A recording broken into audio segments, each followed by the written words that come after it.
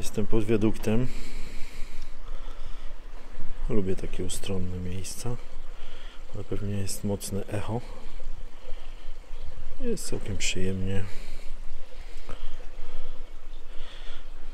Gościli tutaj graficiarze, czyli teren jest zainicjowany. Program, program,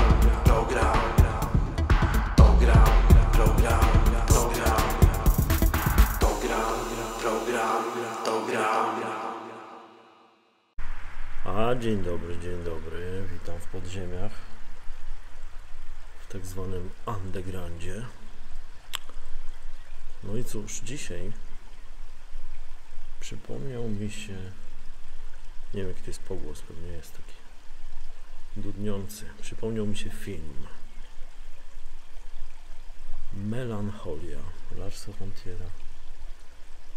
I taki paradoks, że dla niektórych jak jest źle, to jest dla nich właśnie jest dobrze. W sumie niezły deal. W sumie fajna miejscówka. Trzeba przyznać, klimatyczna. I ten pogłos. Miejsce. 7 punktów w skali z pirata. We're sorry, the number you have dialed is not in service at this time. I tak mi ta melancholia przyszła do głowy, bo bo w sumie wchodzimy w, taką, w takie czasy, w taką fazę, że to jest trochę takie czasy melancholii. Myślę, że Lars miał dobre wyczucie. Przed czasem. Bo ja chyba to w secie oglądałem w ogóle ten, ten jego film e, z Antychrystem, który jest mocnym filmem również. I to, to nie są filmy na słabszy moment, ale Melancholia w ogóle uważam, że to jest jego najlepszy film, który mi się podobał. No bo koleś, no trzeba powiedzieć, że nie, nie ten, nie pstryka się, tak? Nie bawi się w jakieś hollywoodzkie produkcje, tylko szuka mięsa. Tak samo jak wspomniany przeze mnie w jakimś tam vlogu ten Gaspar Noé od Enter the Void, od Love, tak? Nieuniknione taki film zrobił też te mocne rzeczy. Ale a propos tej melancholii, bo to taki case mamy, teraz widzę, że dużo ludzi popada w taki e,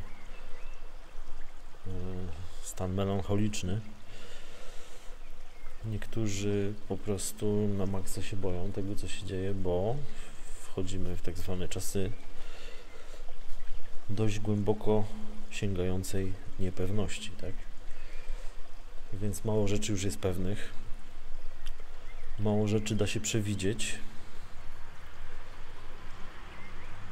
Nadciąga fala, już jest fala chaosu, który będzie moim zdaniem się pogłębiał. Nie ma się co oszukiwać w tej kwestii. Myślę, że to jest najlepszy czas właśnie dla takich ludzi jak bohaterka filmu Melancholia. Też mi się wydaje, że jak ludzie swoje w życiu przeszli, pociąg jedzie. Dostali w przysłowiową dupę, no to mają zupełnie trochę inne podejście do wielu rzeczy, tak? Są odporniejsi. Dlatego myślę, że pewne rzeczy, trudne rzeczy kształtują bardzo taką odporność psychiczną. Ja przypominam sobie mojego dziadka, który przeżył wojnę, przeżył roboty w Niemczech. Żył długo, cały czas był aktywny, miał taką, taki stalowy umysł. Był takim mocnym, mocnym, naprawdę mocnym człowiekiem. I w zderzeniu z tą kruchością teraz, takie, ludzi, którzy są tak już w taki sposób udomowieni, no to jest niezły kontrast. A z drugiej strony wydaje mi się, że no, że to jest po prostu wynikiem tego, że żył z ziemią, w ziemi, tak? Był w naturze cały czas, non stop, bo mieszkał na wsi. Był związany z ziemią bardzo mocno, całe życie ciężko pracował. Więc był zahartowany, no. Miał taką moc. Wiadomo, że to jest też swoim kosztem, no bo tam brakuje często subtelności, jakiejś takiej wrażliwości, bo jednak takie twarde życie no, kształtuje takie twarde charaktery, które się tam nie szczypią trochę, no ale coś za coś, no. Mi się przypomina ta bohaterka właśnie Melancholii, która jak już zaczynało być naprawdę źle, to, to ona stawała się na maksa żywa. Często tak ludzie, którzy przeszli przez jakieś takie mocne fazy depresyjne i wyszli z tego w jakiś sposób i zeszli do tych podziemi, do tego undergroundu swojego umysłu, skonfrontowali się z lękami jakimiś swoimi głębokimi.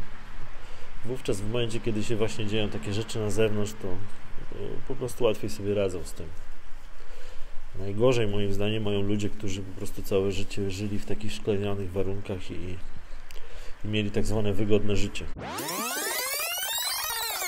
Komary już są. Myślę, że takim ludziom będzie najtrudniej, takim udomowionym na maksa, tak, którzy całe życie pod kloszem żyli.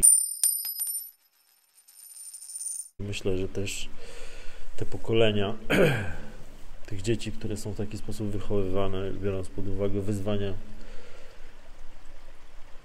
tego, co przed, nami, to mi się wydaje, że to jest no, chyba jedna z gorszych opcji, jaką można sobie zafundować. Plus, plus jeszcze właśnie wychowanie, wyhodowanie w cyfrze.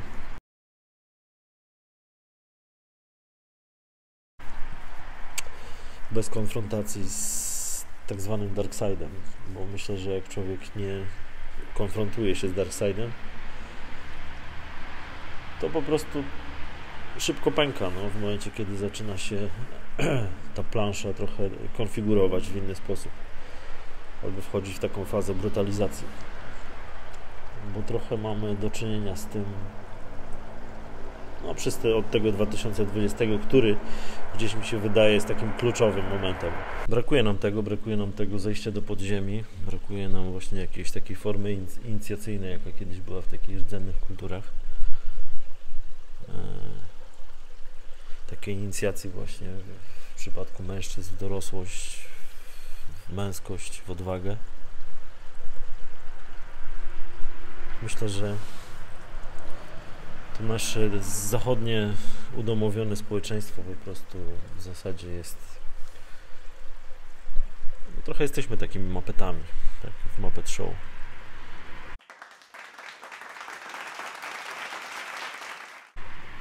I trochę brakuje nam już takich, po prostu już straciliśmy tą dzikość, tak?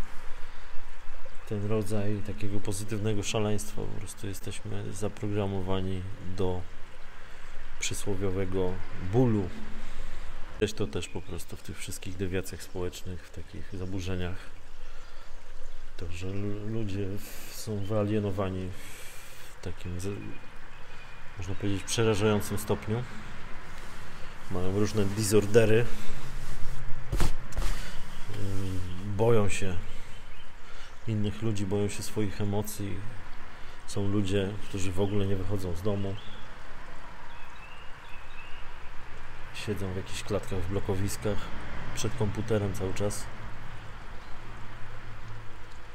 No i to jest właśnie ten paradoks, bo w pewnym sensie my się wzorowaliśmy cały czas na tych bogatych społeczeństwach zachodnich a z drugiej strony, jakbyś tak przyjrzeć, no to ten kierunek, w którym one zmierzają lub już są, no to taki średni jest, biorąc pod uwagę po prostu zdrowie psychiczne i fizyczne i tak dalej. No więc my też zapominamy o, to, o tym, biorąc pod uwagę na przykład tą sytuację obecnie z Ukrainą, z wojną, z Rosją, z tą agresją i tak dalej że większość świata po prostu nie podziela naszego poglądu, myślę, tak? Większość świata nie żyje w, tej, w tym dominium, znaczy może żyje, ale w sensie patrzy na, na, na to dominium atlantyckie, amerykańskie po prostu bardzo nieprzychylnie. Ponieważ przez dziesiątki lat ich po prostu wysysało, no. I dlatego my tutaj po prostu będąc właśnie w takim układzie, w takiej sytuacji, patrzymy na to po prostu z jednego punktu widzenia, tak? Bo nam to pomogło. nam to pomogło wyrwać się po prostu z, z innego dominium. I okazało się to dużo lepsze i dużo bardziej rozwijające. Dlatego po prostu tu nie ma jakiejś takiej zero-jedynkowej, moim zdaniem, historii. No, to nie, nie można powiedzieć, że to tylko jest dobre albo tylko złe. Wszystko zależy od punktu widzenia, tak? Jeżeli na przykład byśmy mieszkali w jakimś Peru albo w jakiejś Gwatemali, w jakimś Hondurasie, w Wenezueli, to biorąc pod uwagę ich problemy, albo na przykład w Argentynie i to tak naprawdę co co oni dostali z takiego układu i w jaki sposób zostali potraktowani, no to myślę, że to po prostu w ogóle nie ma o czym mówić. No, to jest zupełnie inna optyka.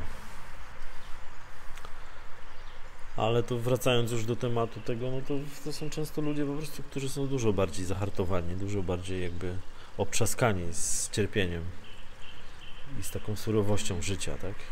I też ci ludzie po prostu potrafią się mają dużo więcej takiej prawdziwej radości, dużo więcej takiego autentyzmu w sobie, tak? Przez to, że, że nie są, nie mają powgrywanych tyle tych programów, tego software'u, tak? Takiego cywilizacyjnego, tej, takiej wygody po prostu. Bo na dłuższą metę to, to tak naprawdę to jest regres, a nie progres. Dlatego cały czas mówię o tym regresie po prostu w tych zachodnich społeczeństwach ponieważ one w pewnym sensie są upośledzone, no, upośledzone pod względem takiej zdolności do wyrażania, do tworzenia, do radości, do okazywania rzeczy, emocji, uczuć. Bo ta cywilizacja na dobrą sprawę, tak zwana kultura, bo ja to nazywam natura, kultura i aparatura, tak? To są te fazy, tak? Czyli wyjście z natury, poprzez kulturę, kulturalnianie się i ostatecznie wejście w aparaturę, tak, czyli w taką erę technologiczną. I to jest to, co, co ten Zachód ma, tak? I to jest to, co on w zasadzie teraz wnosi do świata, tak naprawdę tylko. To jest ten jego rozwój, czyli po prostu rozwój protez i ro, rozwój aparatury, która w pewnym sensie wyręczając nas z tych wszystkich rzeczy, po prostu odbiera nam nasze naturalne zdolności, tak? To jest tak jak ze zwierzętami, no. To jest ten, ten sam case, ten sam model. Po prostu zwierzęta w... udomawiając je, ugrzeczniając, dawając, dając im papu miejsce do kimania, po prostu w pewnym sensie one opuszczają swoje naturalne środowisko i zaczynają żyć w takiej wygodzie, stają się grube, powolne, apatyczne. Więc mi się wydaje, że to jest kwestia taka jak tej melancholii. No. Jeżeli, jak to przypływają piraci, no trzeba być piratem. No. Po prostu trzeba się adoptować, przystosowywać do tych zmian. Przede wszystkim pracować chyba z przywiązaniem, tak? I zarówno do ciała swojego, do swojego myślenia, do swoich rzeczy takich fizycznych. Bo ja sam widzę, że to przywiązanie jest bardzo silne i ciężko po prostu pewnych rzeczy nawet wyobrazić sobie, że ich nie będzie. Ale ostatecznie wydaje mi się, że to jest właśnie to, no, że w momencie, kiedy po prostu zaczynamy z tym pracować, to pewne rzeczy odpuszczają, tak? I mamy większą zdolność adaptacji do warunków i odczuwania po prostu szczęścia, bez względu na sytuację.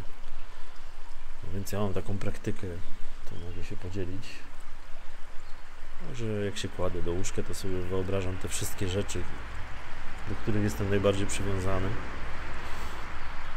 Czy to są rzeczy materialne, czy jakieś mniemanie o sobie, czy jakieś złote myśli, uczucia, związki, relacje. I po prostu ofiarowuję to.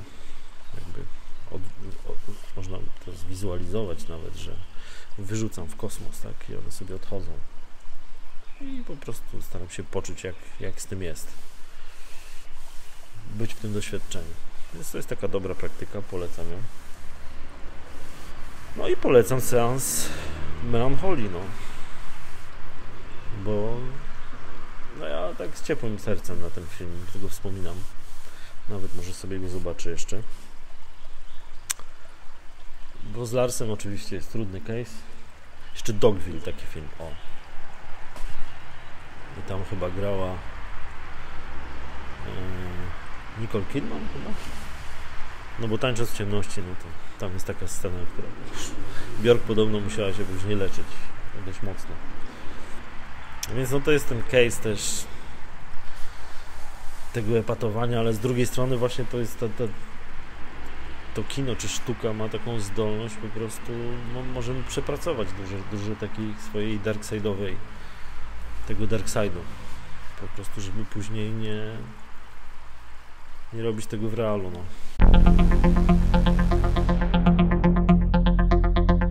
Wydaje mi się, że taka funkcja po prostu tego jest i dlatego ta sztuka jest potrzebna. Może ona jest mroczna i tak dalej, ale dzięki temu ludzie nie robią po prostu gnoju, no. Znaczy ci, którzy po prostu to przepracowali, no. Więc melancholia. Trzymajcie się ciepło. Pozdrawiam z undergroundu. I